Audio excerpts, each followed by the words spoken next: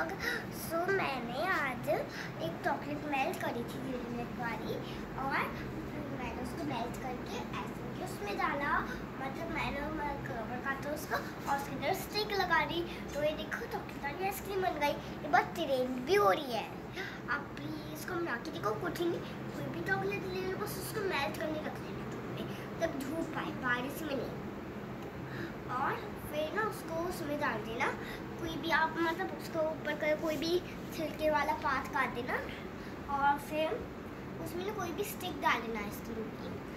और फिर उसको जमने लग मतलब जमने लग देना और फिर उसको ना आप पाँच मिनट में निकालो, पाँच मिनट में जम जाएगी टेस्ट करोगे? Okay bye